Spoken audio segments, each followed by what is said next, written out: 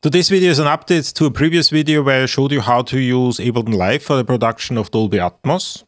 And uh, one of the issues that we ran into is that Ableton Live is only stereo and uh, Dolby Atmos essentially asks for a 7.1.2 bed track and you obviously can't do that directly within Ableton because once again, Ableton is only stereo.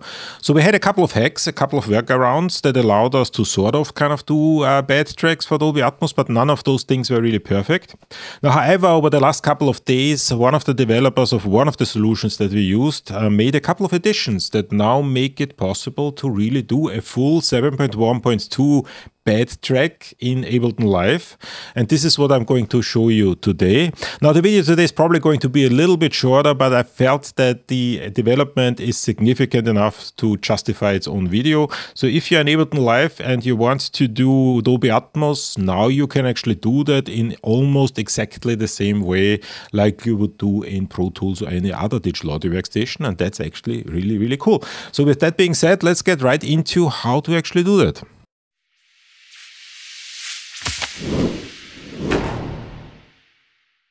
But first of all, hello everybody. In case you're new here, my name is Michael Wagner. I teach at the Antoinette Westphal College of Media Arts and Design at Drexel University in Philadelphia. And on this channel, I talk about digital media, game design, and spatial audio. And if any of those topics interest you, I invite you to subscribe or join my Discord community. Invite link is in the description below. And since you already it, also please don't forget to press the like button, especially if you get any value out of my videos. It really helps out the channel and makes my videos more accessible to other people. Thank you.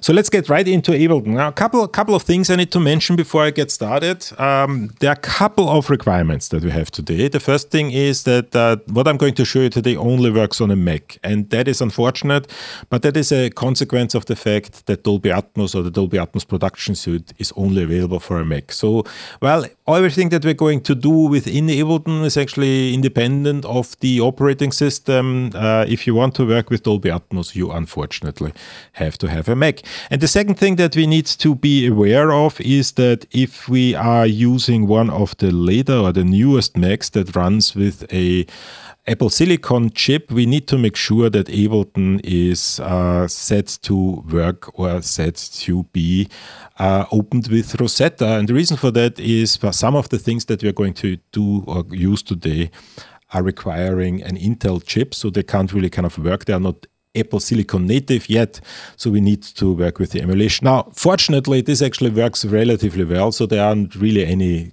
problems that you have from that. So, so just set Ableton to Rosetta, and once again, we need to be on a Mac. Now, the way I'm going to do this today is with a very simple drum loop. And uh, all I'm going to do is I'm going to essentially take the drum loop and convert it into 7.1.2 and then feed that into the Dolby Atmos renderer. So let's just have a brief listen to the drum loop. It is a drum loop that comes with the Leviathan pack from Black Octopus Sound, which is actually a really, really nice pack in case you don't have that yet. Highly recommended. So let's just have a brief listen on how that really sounds. And that's really everything that I'm going to kind of use today. Now, the first thing I need to do is I need to open up the Dolby Atmos renderer. And once again, uh, this is uh, because we're working with Ableton, so we can't really use an internal renderer, obviously. So it has to be the external renderer, which once again only exists for Mac. Uh, so um, let's open that up and let's connect Ableton to it. So let's open up the renderer, and that is under Dolby, Dolby Renderer and here we have the Dolby renderer. Now the first thing we need to do is we need to make sure is that the input and output settings are set correctly. So let's go into the preferences and let's just make sure that everything is set correctly. So the input is supposed to be the Dolby Audio Bridge. So that's the way we're going to connect Ableton with the Dolby renderer. And then the output device, let me just set that to my um, user interface here. For some reason it didn't it didn't remember that and let's let's accept that. And then uh, we need to prepare Ableton for communicating with the Dolby Atmos renderer. So the first thing is that we need to select the uh, output device, and the output device is supposed to be the Dolby Audio Bridge. That is a 130 in, 130 out uh, kind of configuration. So let's just, uh, if you haven't done that yet, you would need to go into the output settings and then essentially enable all the stereo outputs. And once again, the last two have to be mono outputs. That is because 129 is going to serve as the timecode um, channel. So that the channel that essentially provides the timecode information. Um, and uh, then uh, we need to do a couple of other things. Uh, and uh, if you want to know exactly how all the details, I invite you to watch my previous video here. I'm just going to go quickly over those things just to make sure that everything set correctly. So the first thing that we need is we need a time code. So, so the time code needs to be provided by Ableton so that the Dolby Atmos renderer knows uh, what time code it's supposed to be using. And for that purpose, we need to select the timecode plugin and that is under Dolby. And here we have the LTC generator and we're going to put that on one of the audio tracks. Doesn't really make any difference which one. And uh, we need to set the frame rate. Now the frame rate has to be the same frame rate that is used in the Dolby Atmos renderer. In my particular case here, this is 24 frames per second. Doesn't make any difference. We're not going to work with video anyway, so it doesn't really make any difference whatsoever. But we need to set it uh, to match to match the frame rate of the renderer. And then we need to just make sure that this is also sent to the renderer. The renderer now is uh, essentially um, expecting the time code on channel 129 so we need to kind of uh, set the audio out to external out and then essentially set that to 129. And that will essentially move the timecode into the Dolby Atmos renderer. So the last thing we need to do is we need to simply send the uh, the drum loop that we have to the to the Dolby Atmos renderer. So for the moment being, let, let me just send that to the first two channels of the bed track. So I'm going to select the external out and I'm going to simply send that to one and two and that should then pop up here under channels one and two of the Dolby Atmos renderer. Let me, let me just see if everything is working correctly. So let's just play that and indeed it does. So we now have the audio signal and uh, once again I'm not going to talk too much about how to set everything up. If you have objects you would need to have to add the um, Dolby Atmos panner and then essentially send the panning information to the Dolby Atmos renderer and the audio information separately.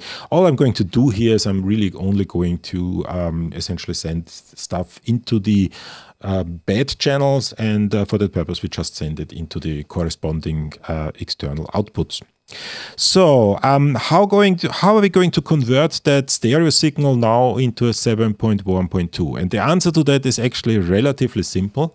Uh, what we're going to do is we're going to convert it into ambisonics first, and then we're going to kind of take that ambisonics signal and convert it into 7.1.2. The reason we're going to do it that way is because for Ableton there is a very very well produced um, Max for Live set of devices that allow us to work with ambisonics, and we can actually utilize that.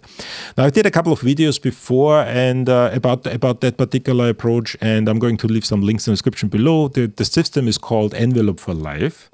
So um, there are really two things that we need to do. Is the first thing is we need to set a an ambisonics source panner on our drum loop or bus. So it's essentially kind of the, the, the track that holds the drum loop, and then we need a master bus device that converts that ambisonics signal back into something that we can send or forward to the to the Dolby Atmos renderer. So let's just first uh, take the, the drum loop track and let's just add a um, device, a source panner. So once again, let's go into the, where do I have that? Under user library, I think packs, wherever you kind of put that Envelop for Live. So what we're going to do is we're going to simply take the source panner, uh, the Envelop for Live source panner, and we're going to drop that onto our loop, uh, track that essentially holds the loop. And uh, that essentially will convert the stereo signal into an ambisonic signal and then send that ambisonic signal into Max for Live. So uh, there's obviously a second step that we need to take. We need to take that signal out of Max for Live and convert it back into something that we can forward to the Dolby Atmos renderer. Now for that purpose, what we're going to do is we're going to use the master bus device and we're not going to use the master bus device that is coming with the Envelop for Live system directly. What we're going to do is we're going to use the um, custom device uh, that the developer created for head tracking. And uh, he essentially added a capability to decode into 7.1.2. Um, I'm once again going to leave links in the description below. It's actually fairly straightforward. You just download that and uh, essentially open it up. That's all you really need to do. And uh, in my case, I have that here under master bus device for head tracking. And I'm going to drop that onto our audio on one of the audio buses. Um, it could also be a, a, kind of a return track, but it's not allowed to be on the master bus itself. And uh, this is uh, the master bus device. And uh, the only thing that we now really need to do is uh, we need to set that master bus device to kind of take that Ambisonics audio and convert it into 7.1.2 and then forward that into the Dolby Atmos renderer. A couple of things. First of all, let's disable the monitoring option. That monitoring button here means that uh, the um, stereo signal is also simultaneously forwarded to outputs 1 and 2. We don't want that because we essentially are just kind of using everything for regular kind of monitoring the, um, the, the, the, ambisonic signal. So let's just disable that.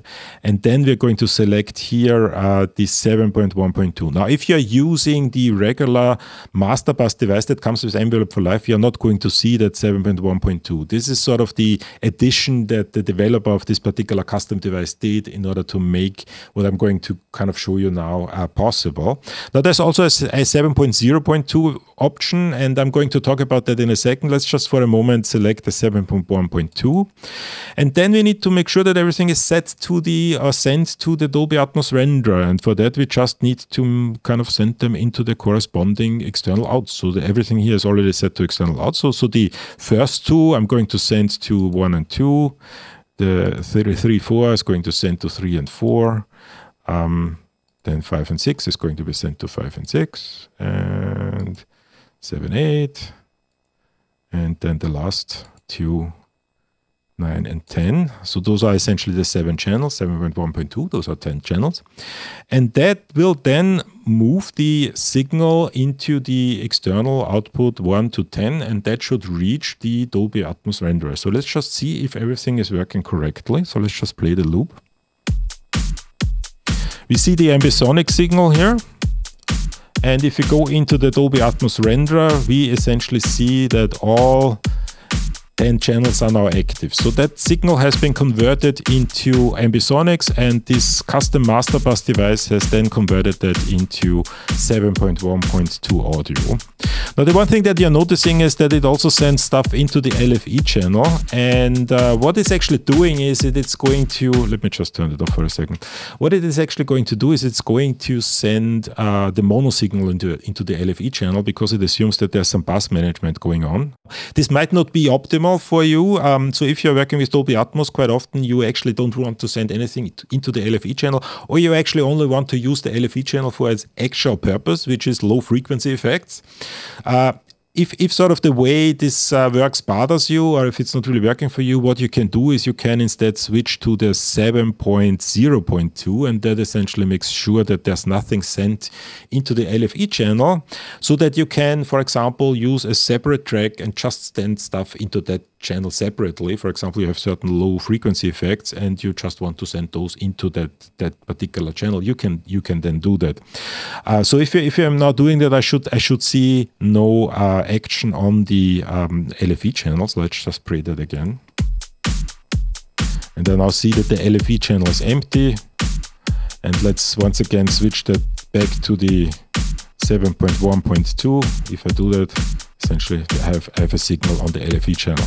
So depending on your particular application environment or what you want to do with Dolby Atmos, uh, one or the other makes sense. Most likely you're going to work with 702 and then maybe send some additional signal into the LFE channel because once again, sending the, something into the channel just means sending it to the corresponding external output. That's really everything that you need to do.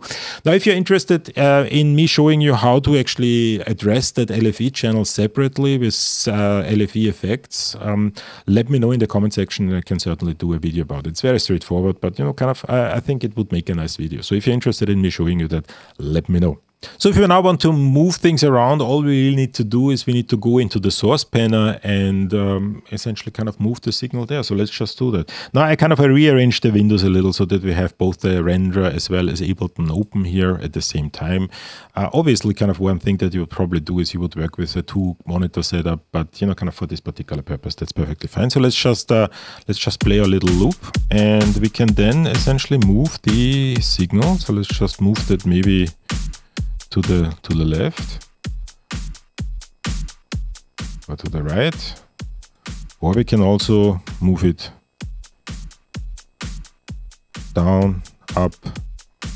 And depending essentially on how we moved it so now it's for example it's completely on top um, we will have the corresponding uh, channels active.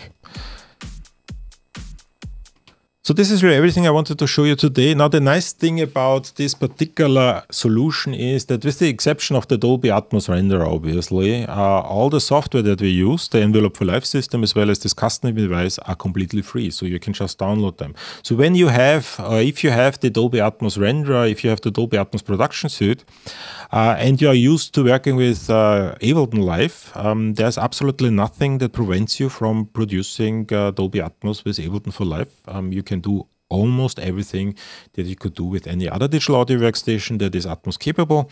And that I think is actually fairly cool and fairly nice and fairly neat. Um, I'm personally a kind of a big fan of Ableton. That's uh, the DAW that I started with. So I'm really happy that I can now do everything in Dolby Atmos with Ableton as well.